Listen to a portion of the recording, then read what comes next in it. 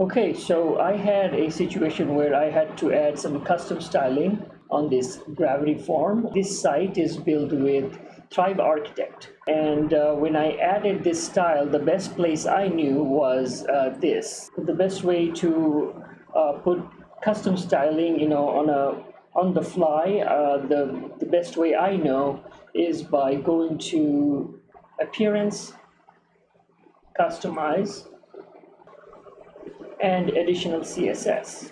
You know, this is something that I didn't realize that Thrive Architect is actually uh, adding, or Thrive, Thrive Theme Builder in this case, adding extra styling in here, and it is actually writing anytime it uh, loads up. So what I didn't realize that it's going to overwrite some of my styling. So once it did, I did not find uh, my styles anymore. What I had to do after some research, I tried to locate where the, these uh, custom styles go in the database. Because at this point, if I just if I just hit like publish or something, right? At this point, make any change or publish, I know that uh, the database will be overwritten and my styles will be gone, right?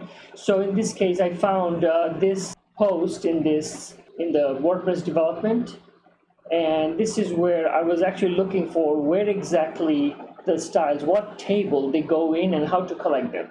So um, you know, this is where all the answers are, but when I actually went into the database, uh, my head started spinning. I could not find it but I did have this, this function, WP get custom CSS. So I figured if I just uh, somehow able to run this, I might get some of my, I mean, actually all my uh, custom styles back because it's still in the database because the site style is still working.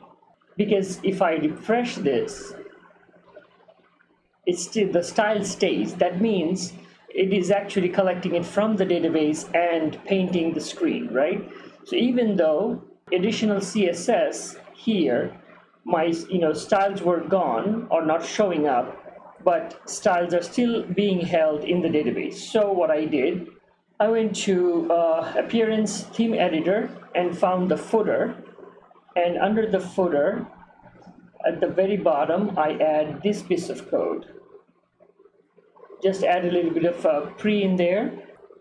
To under two pre tags I just called in that function wp get custom css and then I just refreshed the page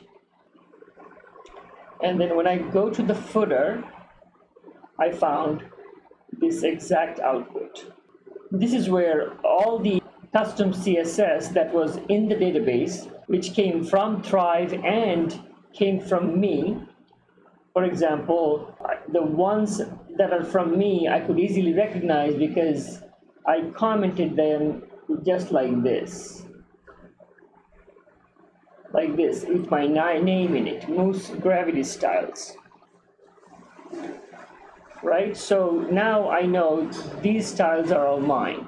So I just, uh, you know, copied this highlighted this part and copy like that and pasted in my VS Code in my local system and saved it. That's how I recovered my lost custom CSS from WordPress database. That's all for this video. Thanks for watching. If you like this video, please smash the like button and the subscribe button this will help me bring more free contents like this to you every week. Thanks again.